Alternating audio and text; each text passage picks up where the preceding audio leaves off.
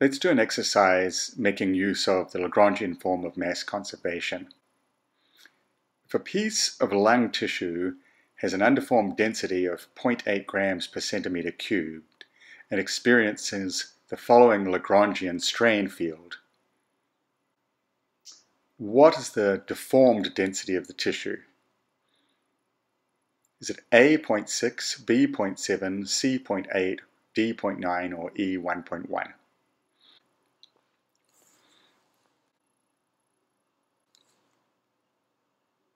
To do this, we first need to calculate C, the right Cauchy-Green deformation tensor, from E, the Green's strain tensor.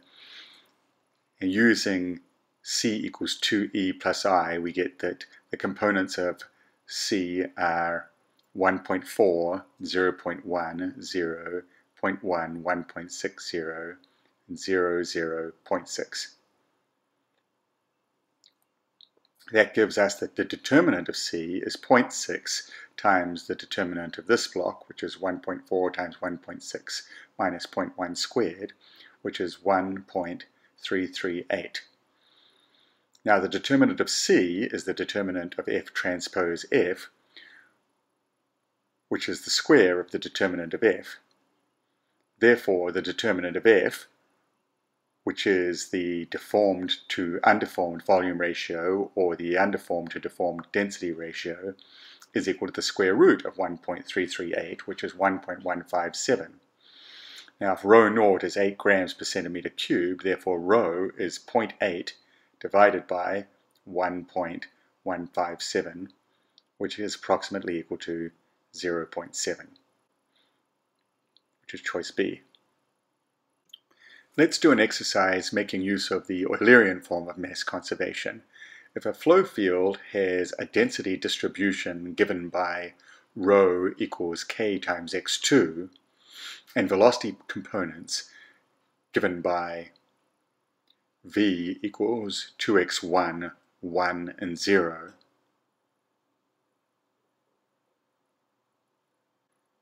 and whereabouts in the flow field is the flow at steady state? Is it A at x1 equals minus k, B at x2 equals k upon 2, C at x1 plus x2 equals k, D at x2 equals minus 1 half, or E at x1 equals minus 1 half? So to solve this, we make use of the continuity equation, for which we'll need the divergence of the velocity, which is just 2, so that's del 2x1 with respect to x1 plus 0 plus 0, and the gradient of rho, which will be 0, k, 0. Now, the continuity equation is del rho del t plus the divergence of rho times v is equal to 0. And expanding that, we get del rho del t plus rho times div v plus v dot grad p is equal to 0 which then gives us that del rho del t plus k times x2 times 2, divergence of v, plus 1 times k is equal to 0.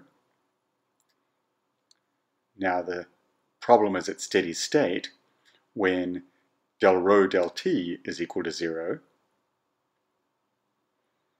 which will mean that 2 times kx2 plus k is equal to 0,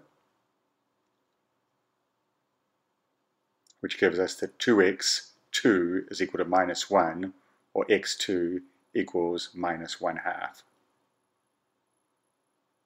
which was choice D.